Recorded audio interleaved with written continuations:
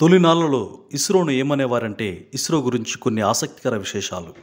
Chandrayaan three Aditya L one ప్రయోగాలతో భారత అంతరిక్ష పరిశోధన సంస్థ ఇస్రో పేరు ప్రపంచవ్యాప్తంగా మారుమోగిపోతోంది. తక్కువ ఖర్చుతో మెరుగైన సక్సెస్ రేటుతో ప్రయోగాలు పూర్తి చేయడం ఇస్రోకే సాధ్యమని పేరు తెచ్చుకుంది. దీంతో ప్రపంచ దేశాలు ఇస్రో వైపు చూస్తున్నాయి. ఈ క్రమంలో ఇస్రో గురించి కొన్ని విశేషాలు. తొలినాళ్ళలో సైకిల్పై రాకెట్ను మోసుకెళ్ళిన చరిత్ర ఇస్రోకు ఉంది.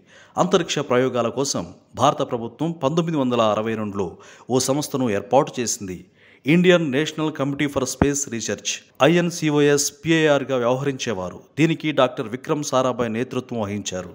అంతరిక్ష ప్రయోగాలలో మరింత అడ్వాన్స్ పరిశోధనల కోసం ఐఎన్సిఓఎస్ పిఐఆర్కు మరిన్ని మార్పులు చేసి పంతొమ్మిది వందల అరవై తొమ్మిది ఆగస్టు పదిహేనున భారత అంతరిక్ష పరిశోధన సంస్థ ఇస్రోగా మార్చేసింది. పంతొమ్మిది వందల డెబ్బై రెండులో ప్రభుత్వం డిపార్ట్మెంట్ ఆఫ్ స్పేస్ను ఏర్పాటు చేసి ఇస్రోను దాని పరిధిలోకి తీసుకొచ్చింది. అంతరిక్ష ప్రయోగాలు మాత్రమే కాదు దేశంలో సైన్స్ టెక్నాలజీ విద్యలోనూ ఇస్రో సేవలు అందిస్తోంది remote sensing astronomy astrophysics atmospheric science space science తదితర రంగాలకు చెందిన సంస్థలకు పరిశోధన సంస్థలకు ఇస్రో వెలకట్టలేని సేవలు అందిస్తోంది పంతొమ్మిది వందల డెబ్బై ఐదులో భారతదేశ తొలి ఉపగ్రహం ఆర్యభట్టను ప్రయోగించింది.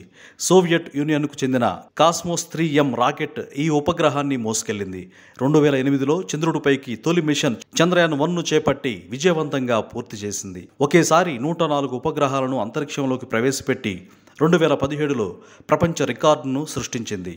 అంగారకుడిపైకి వ్యోమనౌకను పంపిన నాలుగవ స్పేస్ ఏజెన్సీగా ఇస్రో రికార్డులకు ఎక్కింది. ప్రజల సౌకర్యం కోసం భువన్ పేరుతో జియో పోర్టల్ను రూపొందించింది. ఇటీవల చంద్రయాన్ త్రీ ప్రయోగంతో ప్రపంచం దృష్టిని తన వైపుకు తిప్పుకుంది. తక్కువ ఖర్చుతో చంద్రుడి దక్షిణ ధ్రువంపై ల్యాండ్ అయిన తొలి దేశంగా భారతదేశాన్ని చరిత్ర పుటల్లోకి ఎక్కించింది.